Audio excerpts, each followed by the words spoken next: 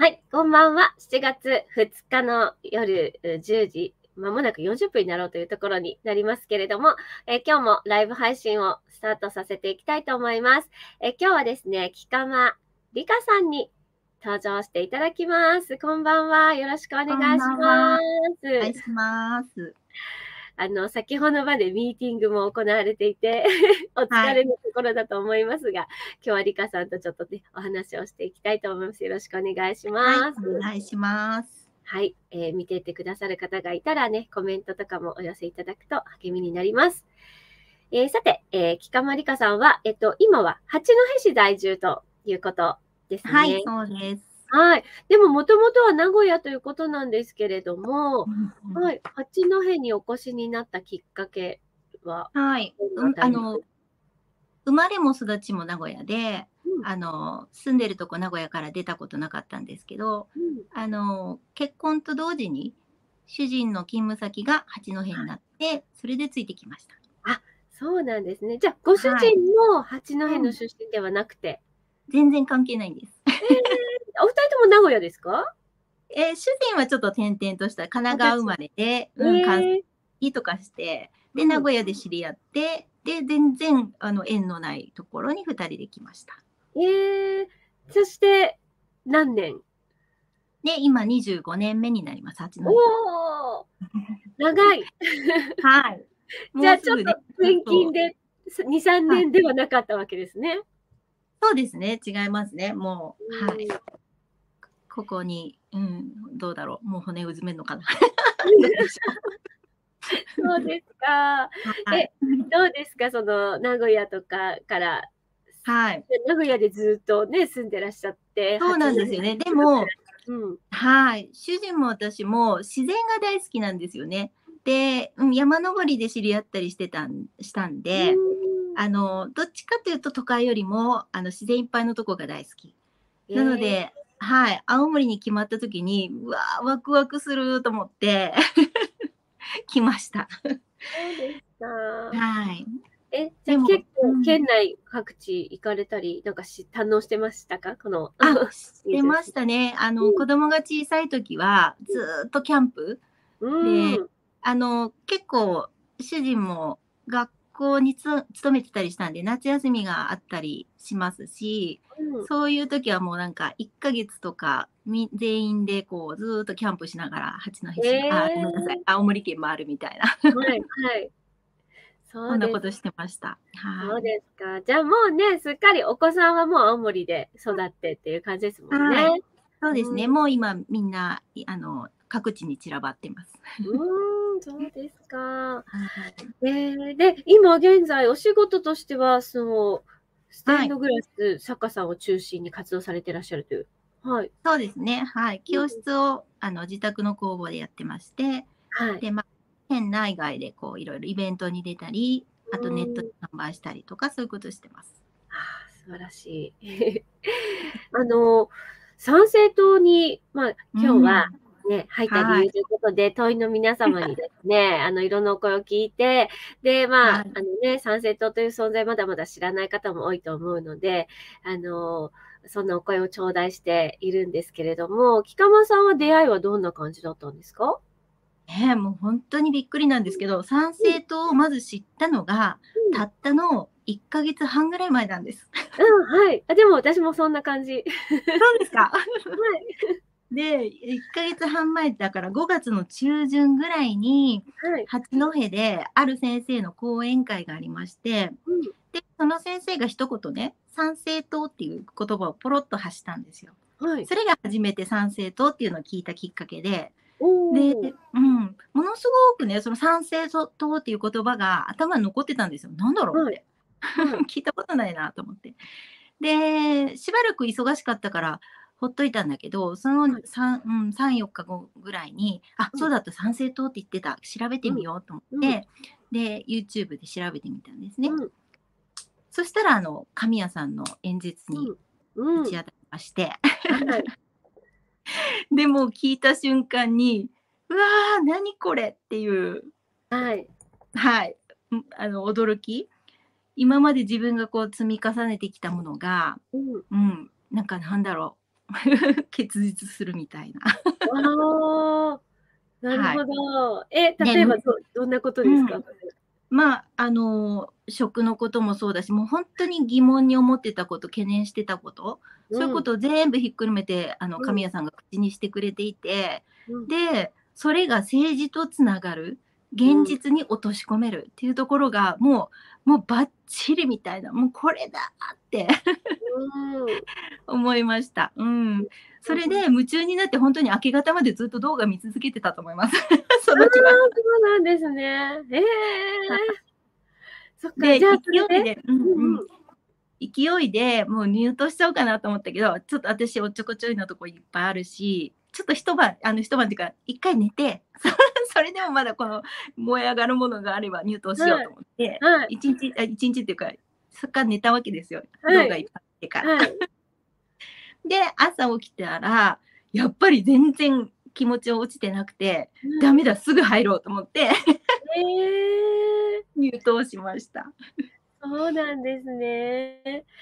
いや、はい。でもその疑問に思っていたこと、ま、いくつもあるっはい。ておっしゃったけども、例えばはい。どんなことやどんなことをいつ頃から疑問に思ってたかとかって聞いてもいいですか？ああ、そうですね。うーんと、えっとね、3年ぐらい前に、あの、その時に師事ちしてた先生はい。から聞いた話で、あの、ま、自分が前々から思ってたのは、もうどうしてこんなに引きこもりが多いんだろうとか、日はい本は。はい。はい。で、いじめも多いし、あうん。の、ね、精神が健全じゃないっていうことが、うつの人も多いしね、そうはい。いうことは思ってましたが、自分で。そうん。の先生からあの、高校生のね、自己肯定感の低さは日本はほんとに世界一はい。低いんだよっていうことを教えてもはい。らったり、あと自殺じゃじすちょっとすいません、噛んで言えない、自殺者数？うん。はい。それもね、あの、ま、年間2万人ってテレビでは放送さうん。れてるけうん。ども、実際はこれからくりがあって、はい。あの、ね、遺書が残ってないと自殺者ってうんうん。認められないから、はい。その変死体で見つかった方とか、あとね、あの、自殺未遂者の方、はい。あの、ま、命は取り留めたけれども、自殺をね、思い立ってしまった人たちっていう数を合わせて私計算してみたら、たら60うん万人後半だったんですよ。で、それがですね、もう八戸の人口が22万人なんで、はい。年間ね、毎年八戸の人口の3倍ぐらいの人たちが命を絶とうとしている。はい。たもしくは絶ってしまった人たちがいうん。る。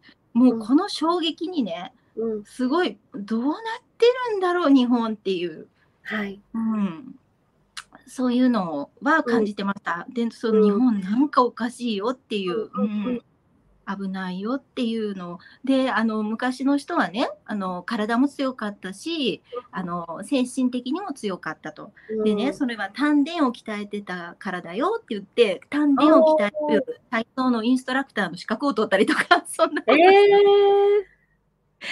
うーん。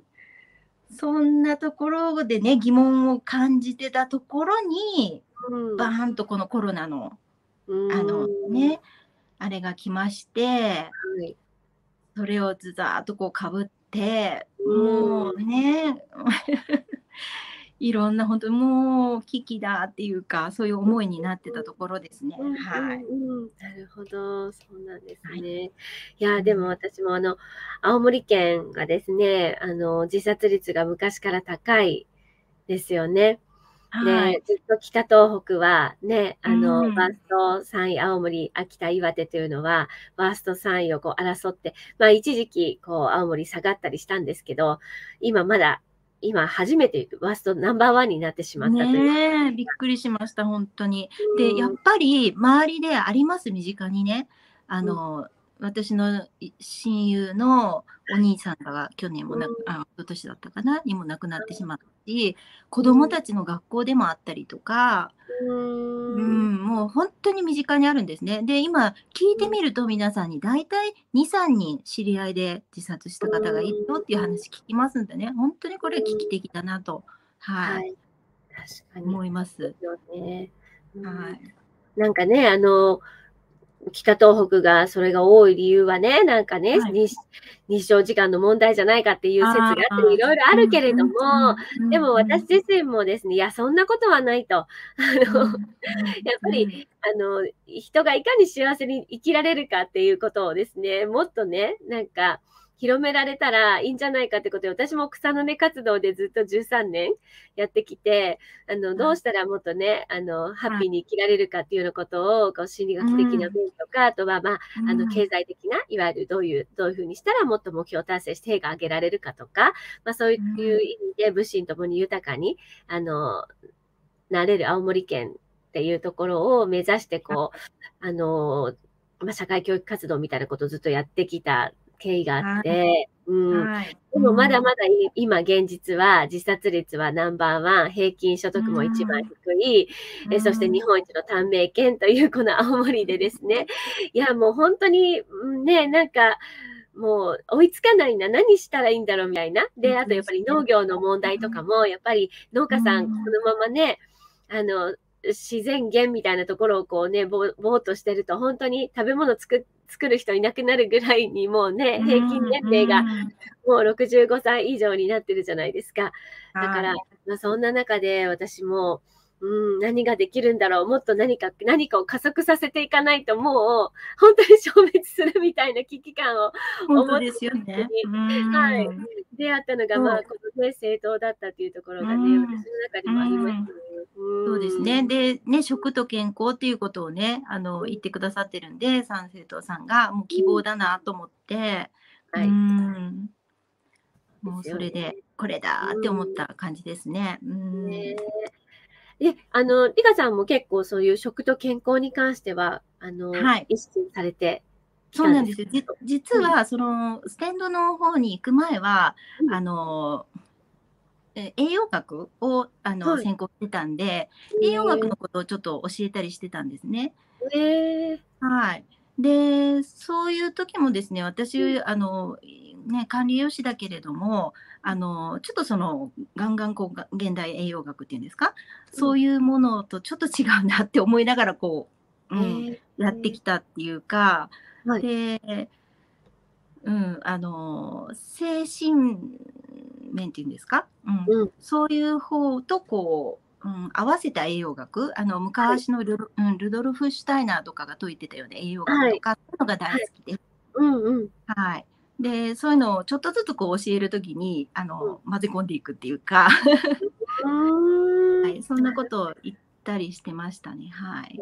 へえまあ、まさにあれですよね。だからその食べ物とこう、うんまあ、体もそうだけれども心の健康というところもこうつながってたりっていうような、そんなそうですことね。ねはい。うんなるほど。あ、なんかコメントも来ましたね。あ、食べ物でみんな病気になっている。あ、今、本当ですね打つ途中だったかな。ね、本当ですよね。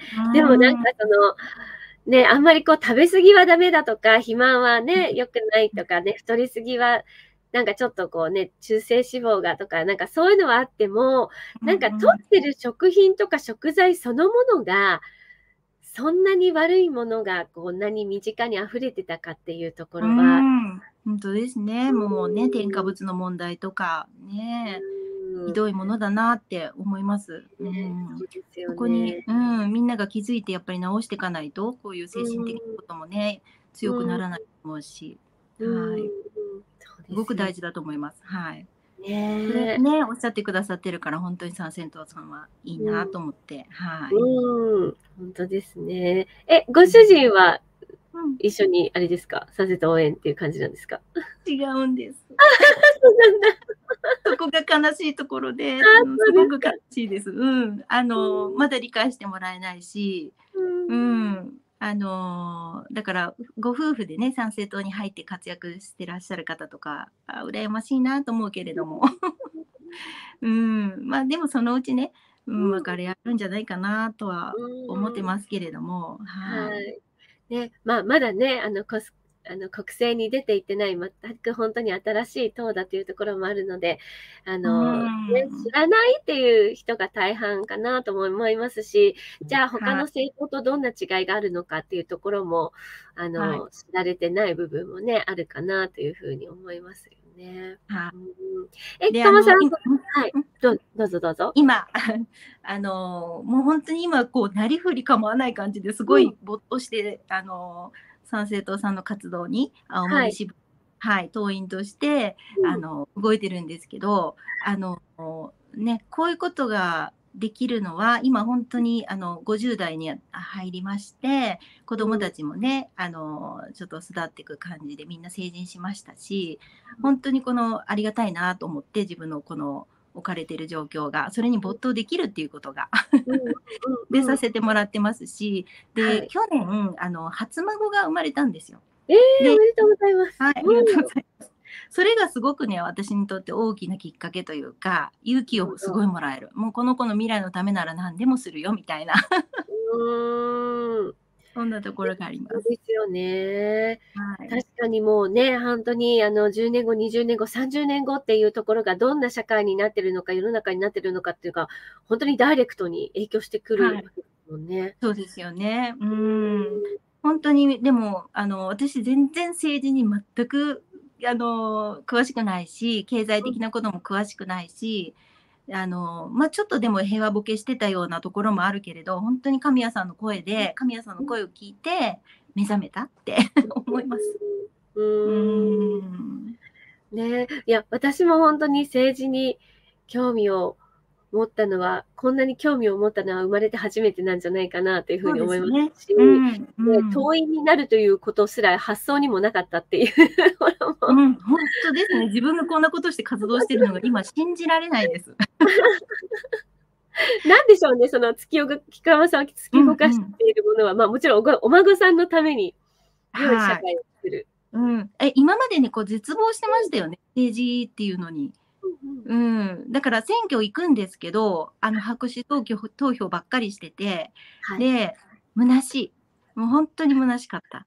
うん。はい、でも今回も本当にもう10枚も100枚も書きたいぐらい。そんな思いで、はい、やってる。確かに。あの、まさにもうキャッチフレーズのようにね、あの、うん、投票したい政党がないから自分たちで作りましたというね。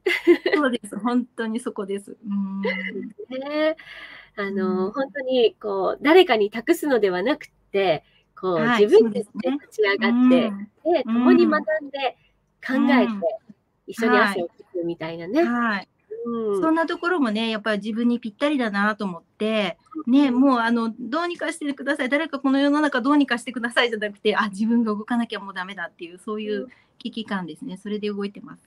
うん。え、実際にじゃあ、そのまあ、1ヶ月半のね、この短期間の間にこう、いろいろなことがこう、北間さんの中でもこう、確変が起きたんだと思うんですけれども。もう無我夢中ですね、毎日。毎日、そうですか。はい。まあ本当にあのね、選挙戦にこう突入したからこそ、はい、さらに無我夢中みたいなところがあると思うんですけれども、でね、でもこう、党員の皆さんとのこう、新しい出会いなんかもこう、たくさんあったと思うんですけど、はい、本当にね、あの、なんていうのかな、一から話さなくていいっていうか、みんな土台が一緒のところに乗っかってるんで、話が通じやすいし、うん、うん、もう本当一から説明しなくていい人たちばっかりで気持ちいいですね。うん、なるほど。はい。そういう人たちが青森にもこんなにいたっていう感じ。そうですね。本当にそうです。参政党のね、おかげで、党員の人たちと巡り合えてね、それはとっても大きいです。うん。なんか、どんな、どんな雰囲気というふうに、北間さんからは、こう、表現できますか？あの党今の党の党の活動というかあの皆さんとのなんだろうねみんながだけどね本当にいい配置で補い合っている、うん、何この神の采配のようなっていう感じ。うん。あ、ここちょっと、ここね、ポスター貼ってる欲しい人が、あ貼ってほしい人がいるといいなっていうと、そこに現れたりとか。はい。そんなことは、うん、よく起こってますね。で、うん、よくこんな風に準備されてたなっていうぐらいいい具合にみんなが散らばっていて、うん、本当に奇跡みたいなこと起きてますね。なるほど。うん確かにね、なんか青森県内といっても広いですし、ね、はいうん、本当にやることってたくさんね、ある。はい。もうね、ポスター貼ってね、実感しましたね。本当に広い県だなと思って。うーん。うーん。でもそれをこうね、なんか自然とこう役割分担がこうできていたりとか、うん、うんなんかこうね、チラシを作るの、チラシというかね、このなんかね、お知らせするこうね、あのはい画像が得意な方がいらっしゃったり、ね写真を撮るのが得意な方がいらっしゃったりとか、うん。本当にみんなで補い合ってますよね。ううんん。ねなんかそういう意味でもあのみんなで作ってるっていう感覚がこの活動の中でもあるのかもしれない。ますね。はい。本当に日々実感してます。うん。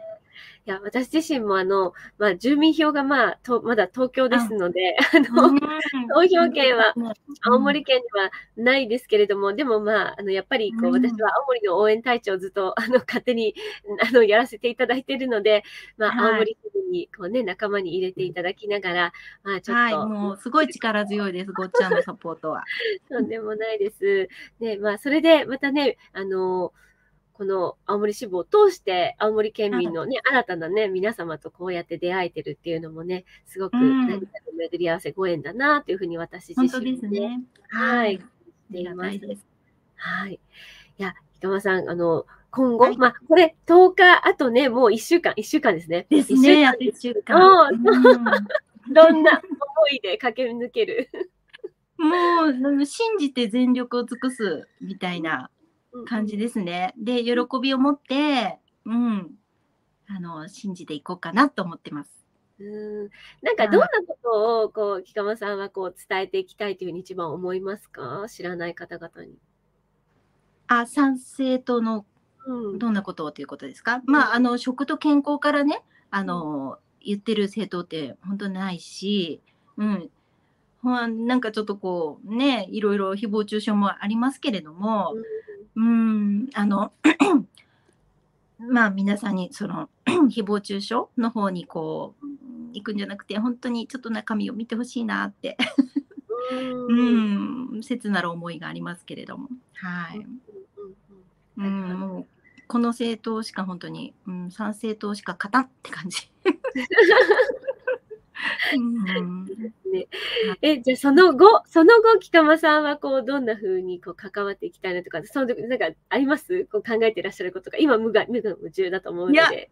全然私そういう展望とかないんですけど もう直感人間なんでうんもうその時々を直感のま赴くまま動いてます。はい 展望とかないんですけど。まあでもうん、ね、この後ね、またどんどんはい。仲間も増えていきそううな、ん、うん、そうですね。実際にはい。こう、ね、この後に、まあ何議席ね、あの、うん、取れるかっていうところはありますけど、でも、あのそこからがスタートだよみたいなこともね、あの神谷さんもおっしゃっていて、うんそうですね。まさに本当そうですよね。だから、あのはい。各地域にもっとね、支部もたくさん作る構想があったりとか、あのうん各地域でうん。コミュニティとなって、そしてそこにうんまた勉強会をしてみたいうん、なね、うん、うん、あ、そういうそうですね。うん、ね。の勉強からすごく楽しみです。そうですよね。なんかこう、はい。各地域でコミュニティとなって一緒に学んで、うん一緒にまたその、ね、政治についても考えたり学んだりしていくっていう、なんかそれもすごくなんか、あの、いいなと私自身も思っていて。本当ですね。はい。うんそれでね、みんなでこう、勉強して高まっていきたいなっていうのはすごく思いますね。はい。ね、はい。なので、ちょっとね、あの、ちょっとずつ増えてくる仲間が、これがこうちょっとね、良い一生の仲間にうんつながっていくんじゃないかなというような、そんなところはいにも愛があって、はい。じゃあ、あの、木川さん、あの、この一あと1週間は、また体力勝負そうですね。はい。うん体調崩さないようにね、みんなとやっていきたいなと思います。こっちゃんもよろしくお願いします。はい。はい。えー今日もね、あの、夜遅くまでのミーティングの後にちょっとお時間をいただきまして、お話を伺っています。あの、木川さんが本当にね、夢中になってその後見続けたというぐらいの、あの、神谷さんの演説もね、ぜひ、はいあの、まだ見たことない方がいたら、あの、すぐにね、探せば出てきますのでね、うん見ていた。だくのが一番早いかもしれないですよね。そうですね。うんはい。はい。えーぜひ、えーまだまだ知らないという方はですね、あの、知っていただきたいなと思いますし、えーぜひ、あの、この情報を伝えたいという方はですね、一緒に広めていただければと思います。はい。じゃあ、きょまさん、また明日はね、はい。あ明日というかもう間もなく日付が変わる。まだ今11本当だ時。朝一ですね。はい、八戸のあの、うん立花の朝市から始まりますので、皆さん、あのオレンジ色のね、あのえ外星車ですか？のあのあれを見かけたら手振ってください。そして多分ね、朝一も明日、明日八年お天気どうどうですか？良さそうですあ、なんか。ね、うん、そう雨は降らないみたいですよ。あ、そうですか。はい、ちょっとでも暑くなりそうです。あ、そうですか。はい、朝一もすごい人そうですね、きっとね。ねねだと思うんですけれども、多分、うんあの、オレンジ色の目立つ上りと、うんあのうんね、あの、オ明るいレンジ色軍団が赤い。T シャツの人たちがいると思いますので、ぜひ手を振って、声かけていただけたらと思います。はい、私も午後からは八戸の方にね、あの、はい行きたいと思います。明日から青森入りしたいと思っていますので、ぜひどこかでお会いできたら声をかけてください。はい。じゃあ、きょまさん、また明日からもよろしくお願いします。はい、よろしくお願いします。はい、今日はありがとうございました。やすみなさおやすい。みなさいはい。はい、ということで、えー今夜は、あー三世と青森支部の木間理香さんにお話を伺いました。えーまた明日以降もですね、えー党員の皆さんの思いをお届けできたらと思います。お付き合いありがとうございました。